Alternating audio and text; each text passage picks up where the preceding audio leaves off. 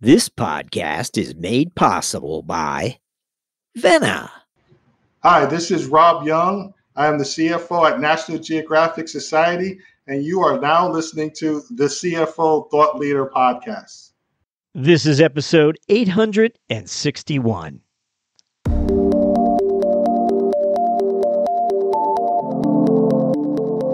we don't know what's going to happen, but we have to be flexible across the board. I, I like to look forward and say, in 18 months' time, two years' time, if I was to look back, what would I have done? Like, what would good look like?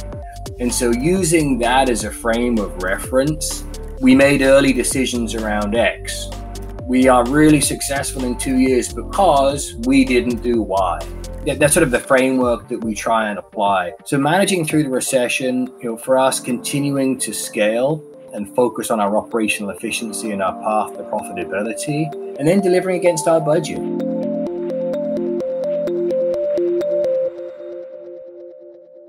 Hi, it's Jack. On today's show, we speak with David Quinn, CFO of Bluevine.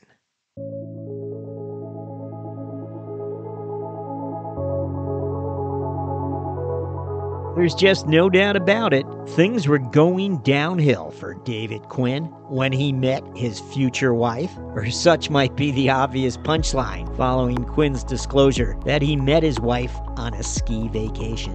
Still, Quinn lets us know that the timing of his match being made was in sync with the escalating financial crisis of the late 2000s. A grim environment that quickly fogged over the career trajectories of many banking executives, and Quinn was no exception. On today's show, David Quinn explains how making a match helped open the door to new opportunities only one ocean away. That story and much more on today's episode. We begin after this. Managing multiple spreadsheets, disconnected data, Numbers you just can't trust. Your finance team can't be the strategic partner your organization needs right now with obstacles like that getting in your way. Vena can change that.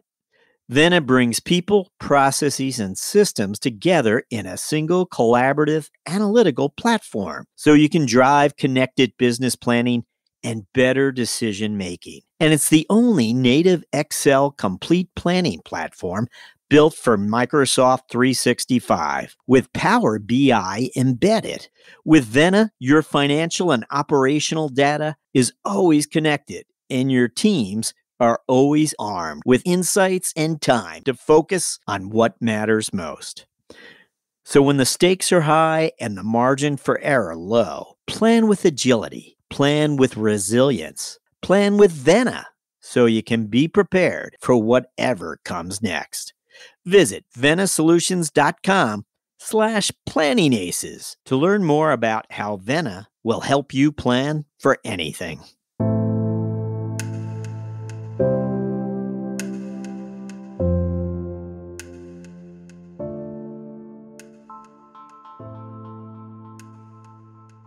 Hello, we're speaking with David Quinn, CFO of Bluevine. David, welcome. Hey, nice to meet you, Jack. Yeah, likewise, David. Uh, you might know that we kick off every episode with this same question, but every finance leader has a little different background, a little different path that they took to the CFO office. And what we're looking for is for you to highlight some of those experiences that you feel best prepared you for this role you have today as CFO of Bluevine? What what would come to mind?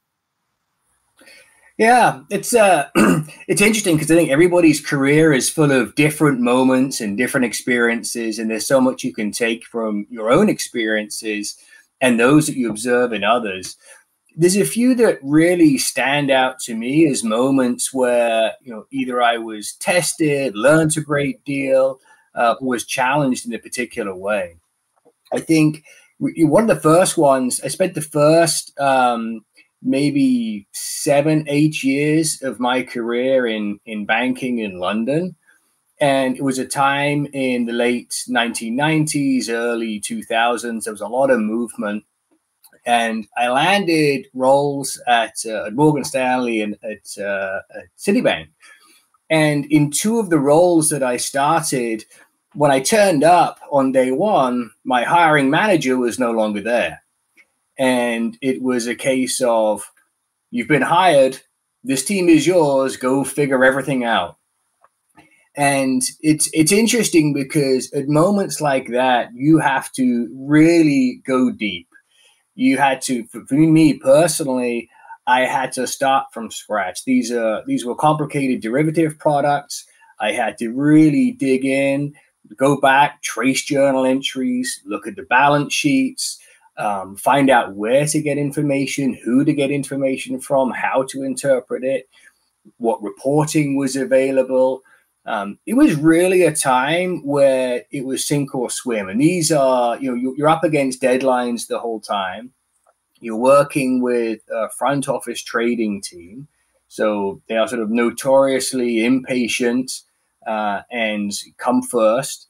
And so you're trying to provide this high service with a brand new team, no knowledge, uh, and really, you know, time pressures. And so for me, it was a it was really a point of my career where it was the easy option would have been to say i'm out of here i'll go find something else or say no to certain requests i think what it did for me personally is really help me understand the fundamentals um, go back figure things out you know effectively go back to my accounting manual right i'm not the world's strongest accountant i can i can tell you that for nothing um, so that was really interesting. And it, it, it, what, it, what it showed to me was when the fire is there, it's really when I excel. Like I love that um, that busy period, not knowing what's happening, but just trying to figure everything out. That's what keeps it, I think, finance really, really interesting. I'm I'm curious. You stuck with banking, and uh, again, the the downturn does occur, I suppose, while you're you're sort of uh, climbing the ladder there, and uh, you had the option maybe to leave. You had an FP&A resume; it was strong. You could have gone to other industries. You stuck with banking. Why? Yeah, you know what? There's a couple of reasons. Um, so one, this is it's it's sort of an evolving um, space. So I think you know it's a it's a product which is used by everyone in the world, right? Like pretty much everyone needs banking service. Everybody needs a way to move money around. Everybody needs um, businesses need a way to uh, to grow. They need access to capital and the services. So it's one of those industries, although somewhat um, um, I wouldn't say somewhat secular in that it goes uh, with credit cycles can go up and down. Um, it's it's a need that is there continuously for for effectively all of the economy, all aspects of the economy. Um, you know, FP&A. When I, when I started my career, I had an option, right? Like typically in the UK, um, where I grew up, there's two paths into accountancy. There's your chartered chartered accountancy path, so your public practice path, and then we have um, a management accountancy right? So they're both three year programs, modular based. You have to do all your CPEs and your credits. And I chose that management accountancy one because um, my my love of accounting is limited in some ways, right? I love the management side. I love the strategic. I love the profitability. Like very close to the business. Um, I'm not as strong in the technical accounting sides, and I just generally have less uh, less desire and interest in that space. So that really drove my path to be more uh, be, be more broad.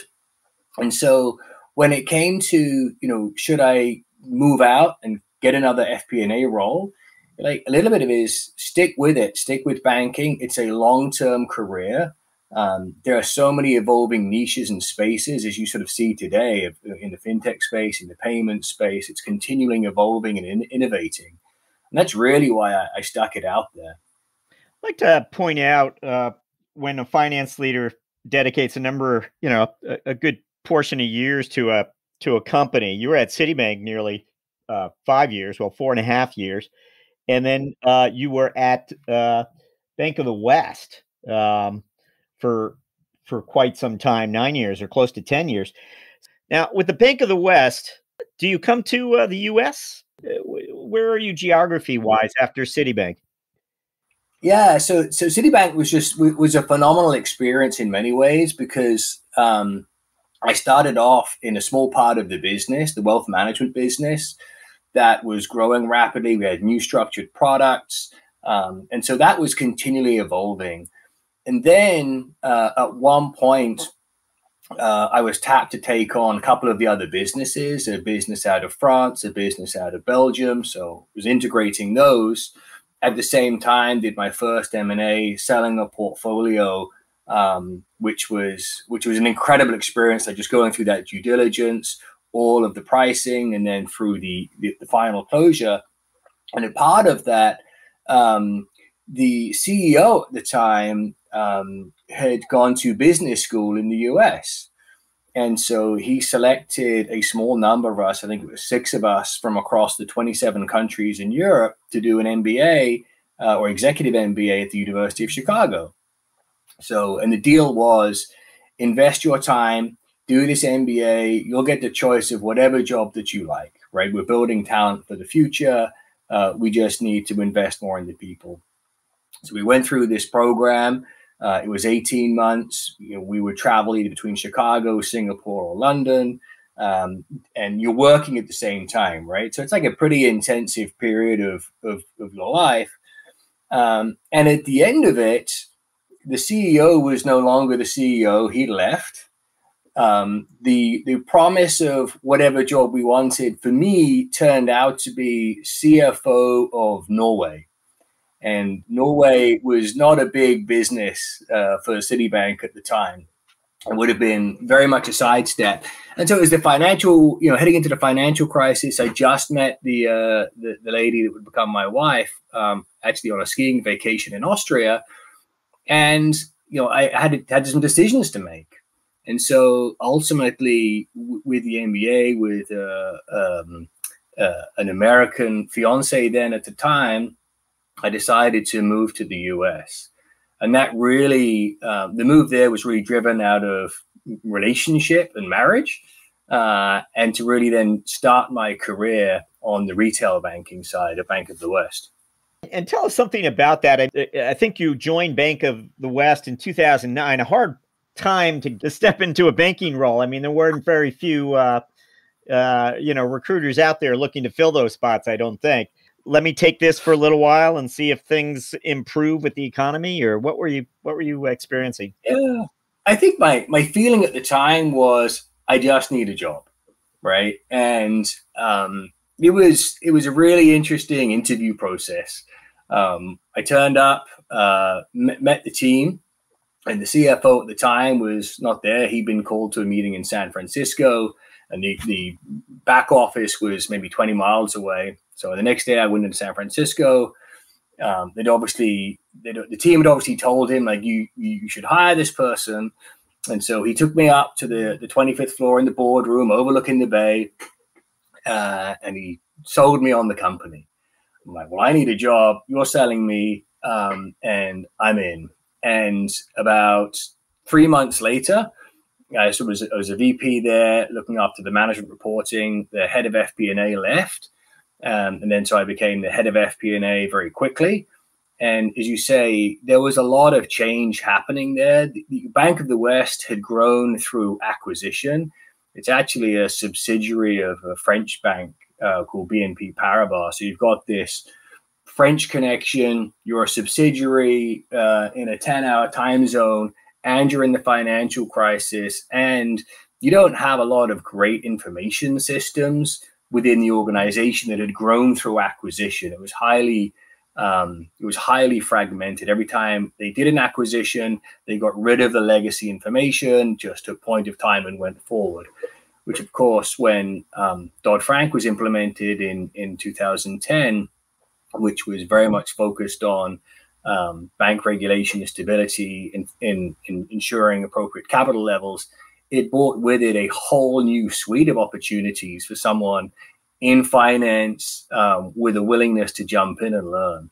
And that's really what I ended up doing for the next 10 years there was a whole variety of roles within treasury, within finance, um, within this new area called CCAR, which is capital stress testing, um, rolling out new profitability frameworks because the whole basis of how you looked at profitability shifted overnight with these higher capital requirements.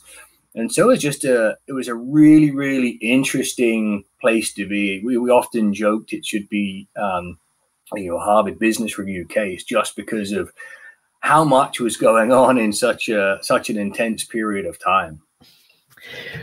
The uh, of course uh, we're we're building to to your arrival at Bluevine, but we're wondering if you had gotten an itch regards to joining a smaller fintech. Uh, you know, as your nine years there unfolded, there was more and more perhaps opportunities to explore. Yeah, it's interesting. Uh, towards the end of my time at Bank of the West, um, one of the reasons I stayed is because of the CFO, been working together a long time, incredibly smart individual, um, and we had a, a, really good working relationship. Um, but after he left, um, you know, that was really my cue to start looking for something else. You know, I had wanted the CFO role there. Uh, there was a couple of us that were in the bidding for it. They ended up bringing somebody over from Paris to become the CFO uh, because it was French owned, and at that point, that was that was my decision made. So I was actually offered um, uh, a couple of fintech roles, CFO roles, I, I think interestingly, going back to experience, what one of the roles I was offered was with a subsidiary. Uh, and so it was a it was a private company had just been acquired and I'd made a decision that I would never work for a subsidiary or a foreign owned um, subsidiary either. And so that was a, that was a non-starter for me. And it turned out to be a good decision uh, as uh, uh, as I found out later. Well, we'll want to uh, ask you a few more career related questions, and we'll come back after you fill us in a little more about Bluevine and ask you about your arrival there and what have you. But right now, tell us about Bluevine. I think it's fairly well known out there in the fintech circles, but for a broader audience, maybe you can uh, tell us about it. What does it do? What what what sets it apart out there? Yeah. So Bluevine effectively saves small business owners time so they can focus on what's important, which is running their business. So we launched in 2013. Um, and we work to enable a better financial future for about 450,000 small businesses to date with our simple, innovative solutions really around banking, bill management, and credit. Three things which are critical for small businesses so we are targeting really SMBs, think companies less than 20 people. It could be a small restaurant, a pizza shop, a flower shop, anyone who has um, uh, revenues, a few employees, uh, and has needs above and beyond basic banking. So we have an online checking account. We're 100% digital. We have the access to credit, so our lines of credit, and we have a bill pay solution that can both pay bills, manage bills, integrates with QuickBooks. So it solves a lot of headaches that small businesses have. One of the one of the things that most attracted me about this offering is it is that no one else is really doing it, right? Like if, if you if you read the statistics um, so many small businesses are underserved by the traditional banks. It's an area which is just not profitable for them at the scale which they operate. Uh, and they're not building for them. They're not building solutions. Banks tend to build for the larger, you know, revenue clients. Think five million plus in revenue, so they're largely underserved. And if they do apply for credit, they have about an 80% chance of being rejected. So it's it's really a chance, and we're passionate about our mission at Bluevine to serve small businesses specifically, given they're the, the backbone of the US economy. Now, could you maybe uh, give us a, an abbreviated history of its capital structure? Where is it today, this company, in terms of its funding? Yeah. So we're a Series F company. Um, we are a few years out from profitability. Um, we have a lot of investors. So we have investors from 83 North, from Lightspeed, from SVB Capital, um, and it's it's got a very very strong balance sheet. We have a very strong balance sheet today, and that's you know again one of the other reasons that uh, that I was keen to join is that we have a lot of runway. It's in a unique segment, and we have such a talented team. And the mission to serve small businesses is something that unites all of the leadership team and all of our employees. So you've been there now a little over a year. Maybe you can tell us uh, as you arrive what your immediate priorities may have been. And I don't know if you reorganized finance in some way or made a key hire. Don't know, but what would you tell us about the things you wanted to get done with like like that first hundred days everyone always talks about? Yeah, the what's amazing about the team is they're extremely talented. I've been really lucky to inherit um, very talented FP&A team, talented capital markets team, um, and an accounting function which is very strong. So that so from a reorganization perspective, no reorganization required. It's a, a traditional traditional finance function that is working working really well. Um, what I what I have done is added some additional capacity. So I've added our first procurement hire. So we now have a head of procurement. We're at the size and scale. We have about 200 million in spend, um, where it makes sense to have someone oversee that um, and generate uh, some cost savings and deal with the vendor negotiations that are currently done um, you know, really distributed across the organization. So we have an opportunity to centralize that. And then the other is to bring in um, a couple of people with more, I would say, I set up a strategic initiatives function and a couple of folks that are a little bit more seasoned in the banking space.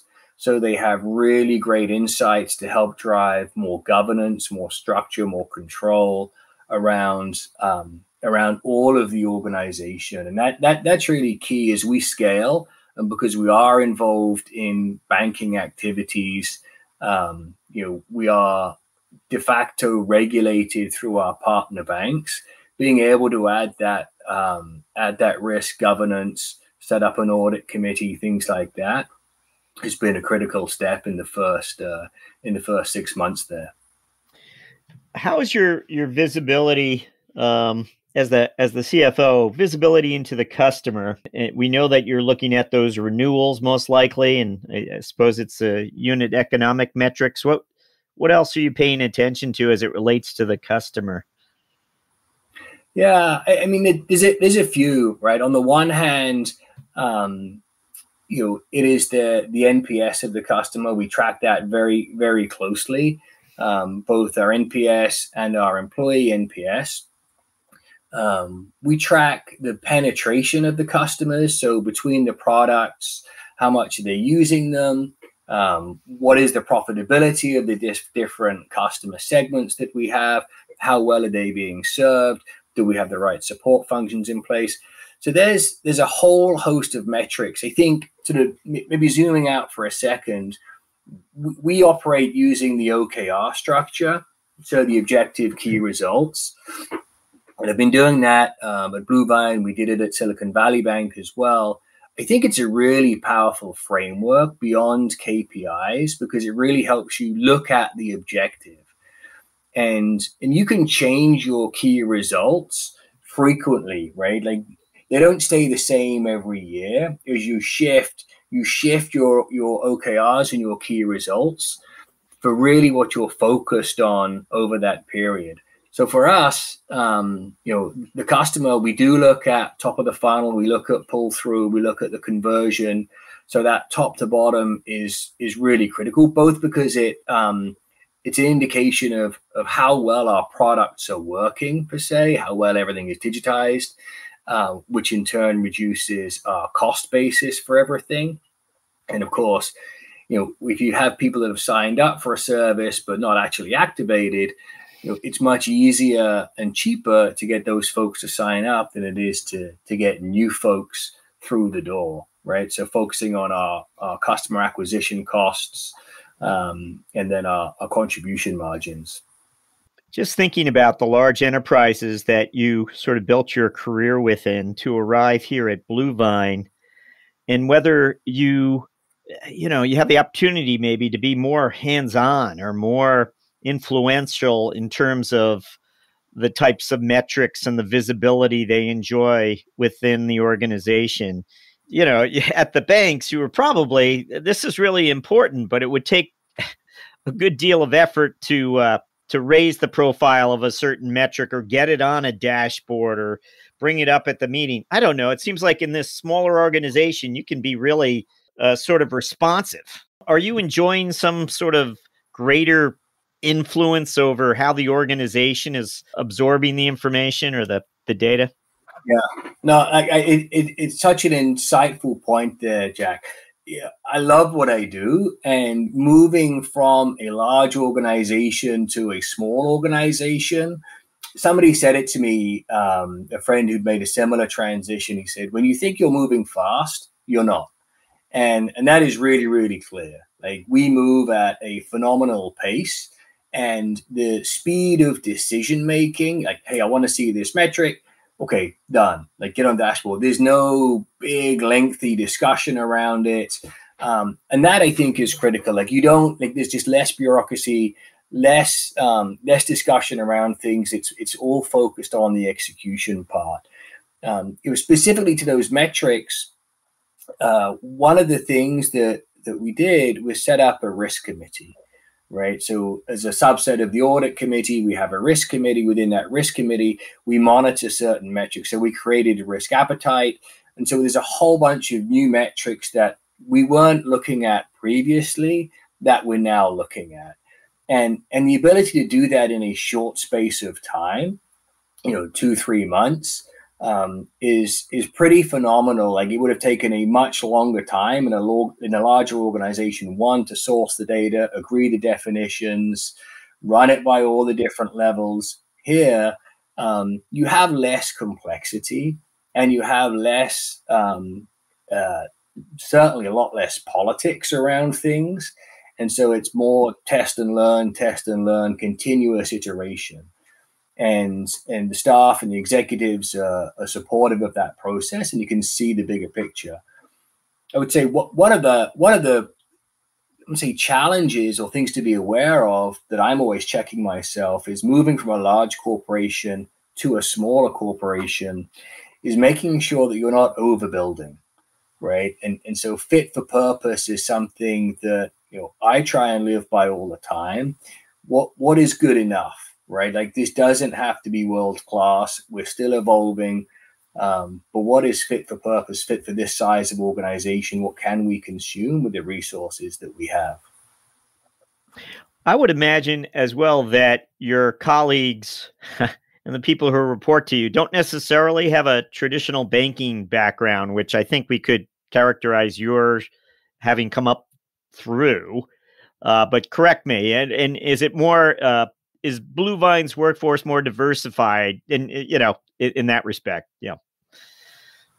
Yeah, I, I, would, I would say that's true. We have a, a number of ex um, investment bankers in the FP&A side, ex analysts uh, and investors. So we like folks have a very very strong financial understanding um, and a good understanding of banking, but not to the level that is sort of really um, it really required. So that that's still part of the ongoing journey, and I think that's that's part of the education that I bring to the organization is how to start structuring that and, and make us a little more formal.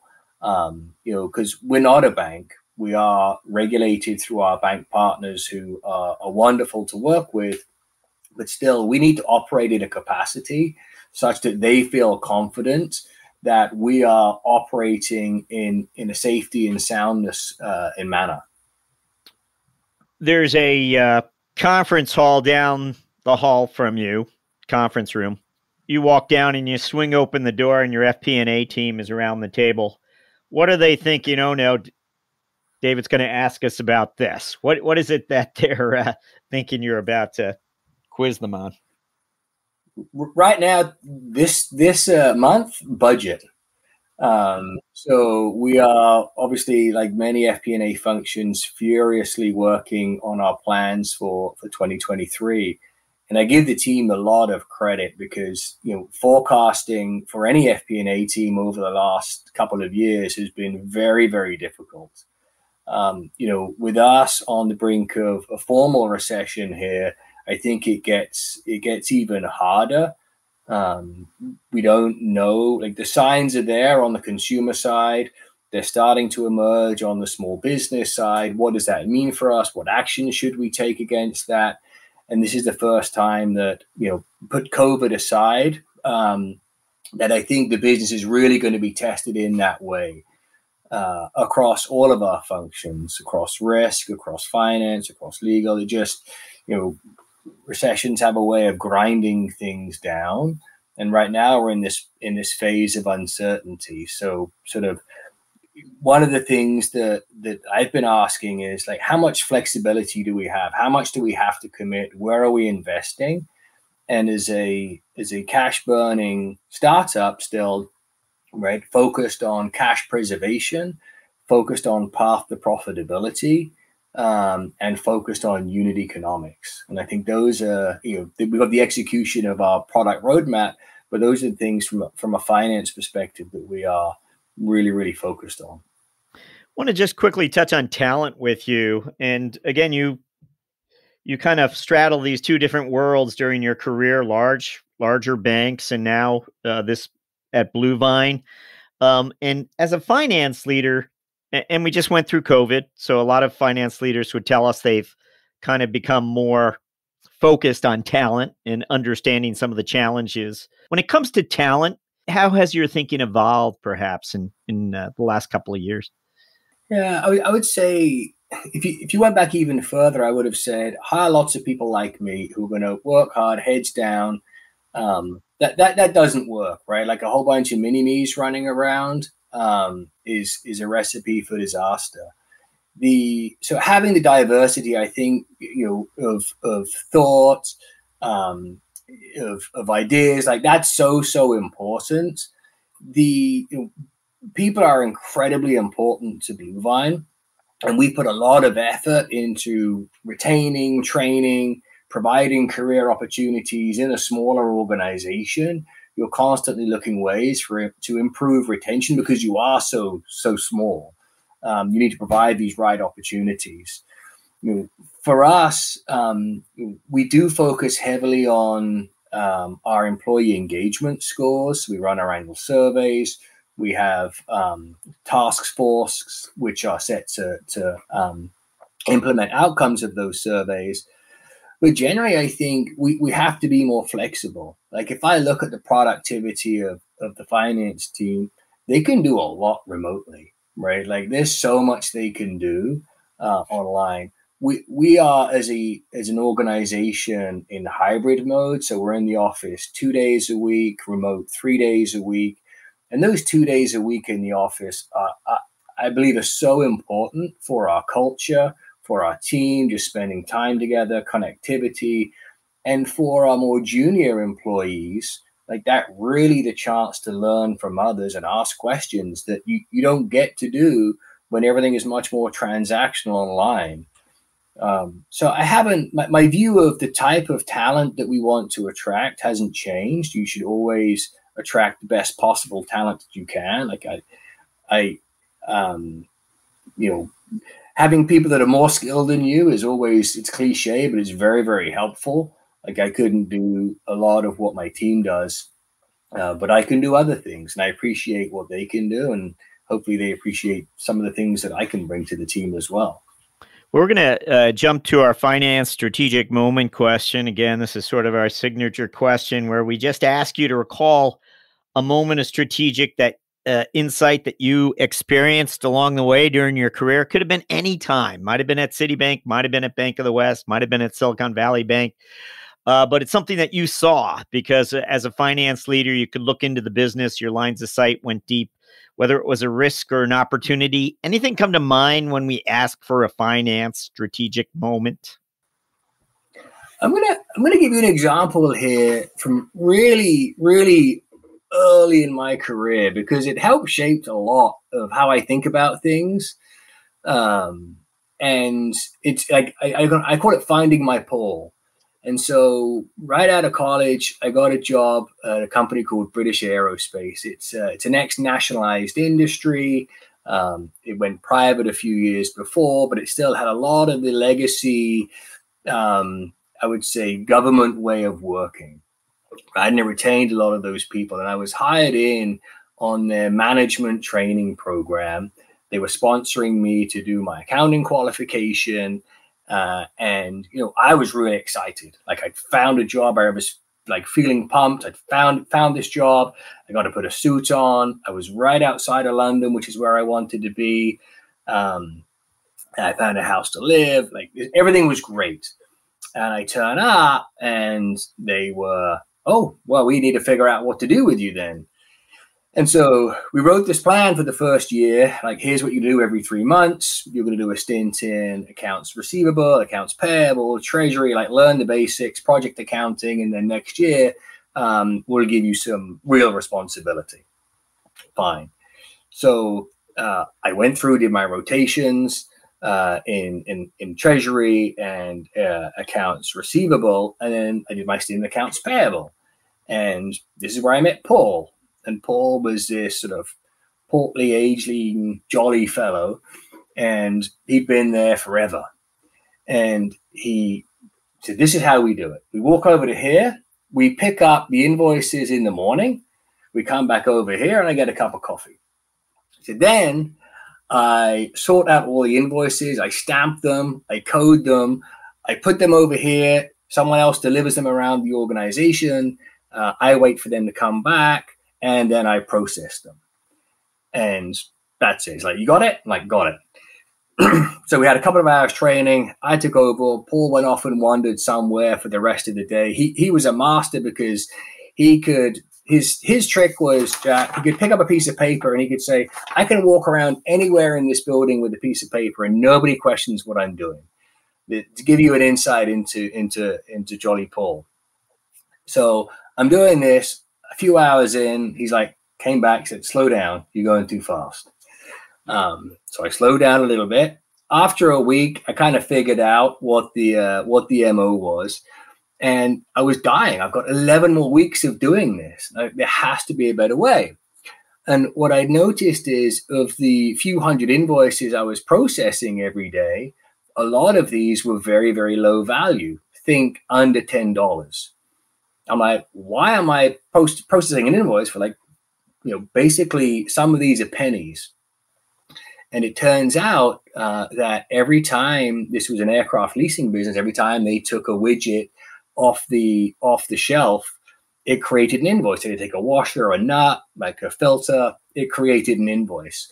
Uh, from another intercompany entity, one entity that did the servicing of the engines would bill us, who were doing the leasing of the aircraft. Uh, and so uh, the following week, I think I had my uh, my, my quarterly uh, quarterly check in with the CFO, and he said, "How's it going?" And I said, "It's going great, but I've got this problem. Like I'm processing invoices. And I've got now 10 more weeks to go and I'm dying. He's like, well, what's the problem? I'm like, well, a lot of the invoices I'm processing have very, very low value. He's like, well, what are you going to do about it? And I looked at him like, what do you mean? What am I going to do about it? He's like, go figure it out. So I had to, and that was sort of the thing. It was like, okay, you own it now. Like you're here. Don't just pro. You're not here to learn. You're here to change and do things. And so eventually I went to the factory, saw the saw the machine where they were taking everything from, creating these invoices. Uh, and I felt empowered to make change. And so I came up with a couple of ideas. Well, can you turn the invoice off of the machine? No, we can't do that because it's binary. If it turns it off for one, it turns it off for everything. So I added up the the value of these low value invoices. It was maybe ten thousand pounds a month right? These intercompany invoices, so like it's left pocket, right pocket stuff. And so I created this sort of interim solution where we would just pay them ten thousand dollars a month. They would not send us the invoices; they would deduct everything from it, uh, and we'd settle up at the end of each month. I didn't have to do anything. I, I was the happiest man alive at this point. And but my fatal flaw, Jack, my fatal flaw was not telling Paul about this. I thought he'd be thrilled. He was so pissed. Like, I'm going to get fired. I'm going to lose my job over this. Like, like it was brutal. Uh, and you know, I always look back on that moment of you're trying to do the right thing for an organization. I hadn't communicated with my stakeholders.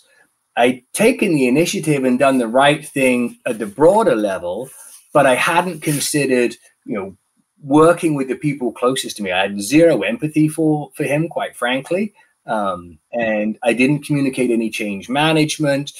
And it, it it reminds me. There's a great book that we an operations book by I think it's Goldratt and Cox, where there's a Herbie character like he's a Boy Scout. And you, you need to look for your Herbie in your business. And Paul's always been my Herbie. He's the there's an inefficiency everywhere and you know you have to go and look after it. And if you you know the sort of motto i have now is like be curious pull on every thread that you can don't take no for an answer and keep pushing because you know, this more and more you unravel things you will find there's things at the end which are an absolute treasure trove for, for finance folks right? And you use this in when we're looking at transformation like across the board it's something that's always stuck with me uh, like I need to find my Paul. There's just no doubt about it. Things were going downhill for David Quinn when he met his future wife, or such might be the obvious punchline following Quinn's disclosure that he met his wife on a ski vacation. Still, Quinn lets us know that the timing of his match being made was in sync with the escalating financial crisis of the late 2000s, a grim environment that quickly fogged over the career trajectories of many banking executives, and Quinn was no exception. On today's show, David Quinn explains how making a match helped open the door to new opportunities only one ocean away. That story and much more on today's episode. We begin after this. We're, we're going to uh, jump to our mentoring round where I get to ask you several quick questions intended to inform and inspire future finance leaders. Um, we already asked you about this more or less, but I'm wondering if you could just look back to your first 30 days there at Bluevine. Is there a piece of advice you would give yourself? Just something for all of what laid ahead? I think, you know, two ears, one mouth. So definitely listen more, right? Like listen across the board. Don't jump to conclusions. Um, you know, things that it, it's much it's much more beneficial to listen for longer before passing judgment. Um, so I think I do a reasonable job of that. I think you can always be better at it. Great. Uh, we always like to ask our guests to reflect a little bit on the personal side. We're wondering if you have a personal habit or part of a daily routine, might be outside of work, might be something a family member would point out to us. This is how David does it. He's always done it that way. Or David's, you know, known to do this. Uh, it's something he enjoys and keeps him on an even keel. I don't know. Is, is there something that you do or part of a routine that you have that you're known for, David? Um, well, I do. I do like doing um, Wordle, Quordle, Octordle, uh-huh. and Nerdle. So I like those little, like the one, four, eight blockers, and there's a little math one you can do. I do that every day as part of my routine. A little. Uh, a you little you are. Um, we had one other in the last thirty days, I think. Uh, one other CFO share a Wordle uh, fixation. Yes, a habit. Yeah, well, she, she should definitely try Octordle as well. It's a classic. Really? Don't don't. And you get to do them in order. Yeah, it's it's spectacular. Is that is is that one owned by the New York Times? I know Wordle is right. Uh, is I don't know. I think there are a bunch of spin-offs from it. Like I just have the the website, and Octordle is is classic. They have a timed one. They have one with blocks in it now as well. So that that that, that brings me a lot of enjoyment in the morning. Uh, we'd like to ask uh, if you have a book recommendation for us. It doesn't have to be a business book; might just be something you escape with. Don't know. Um, I can tell you the last book I read was um, "Barbarians at the Gate," which is uh, it's an old classic like, 18th book about yeah, it's a classic, and it's it's funny. Like I read it years and years ago, but now I've moved everything onto audiobooks. Um, and the guy's voice is great, and it's just a. It was just nice to revisit it again. Yep. Uh, Are those so for, like that. Sorry, do, do you have a habit of listening uh, on a commute, or are they more uh, vacation time, or you know, uh, when you listen to audiobooks, where do you absorb them? Plane flights? Mostly on commute and flights, and then sometimes in the evening in bed. I'll, I'll try and do an hour a day. I've got a, I've got a I don't. Here's the problem: I don't finish one at a time. So I'll jump into one. I think I've got three on the go right now. Atomic Habits is another one I'm listening to right now, and Guns, Germs, and Steel. I think I'm listening to as well. I got a I got a bunch on the go. That's great. Thank you for those. Uh, we're finally uh, at our last question, uh, where we're going to ask you to look forward for us the next 12 months. You already gave us a little indication as to the economic environment but we're wondering what your priorities are as a CFO over this next 12 months.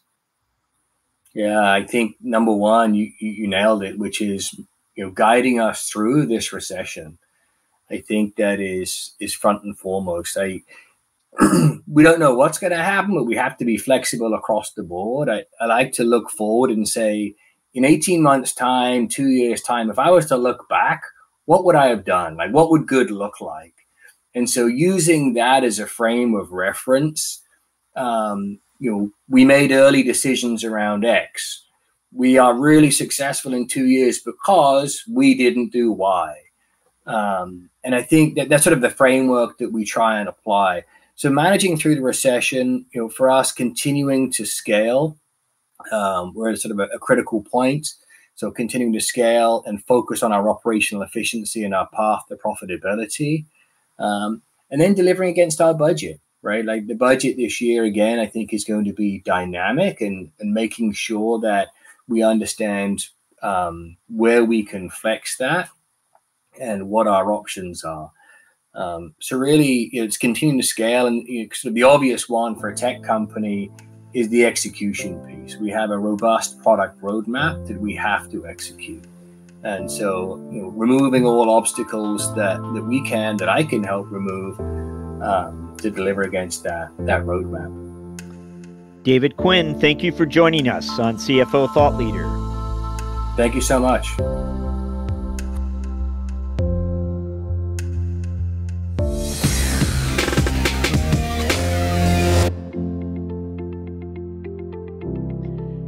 Hello, Thought Leader listeners. As you have perhaps already heard or even seen, we're now featuring the career lessons and moments of strategic insight shared by our CFO guests as thought leader videos. You can now find these videos on our blog at CFOThoughtLeader.com and, of course, our newsletters, but also on LinkedIn. If you haven't already, please go ahead and follow our CFO Thought Leader LinkedIn company page, and you'll be certain not to miss a single Thought Leader video debut. CFO Thought Leader, the number one thought leadership platform exclusively for and by CFOs. As always, thank you for listening.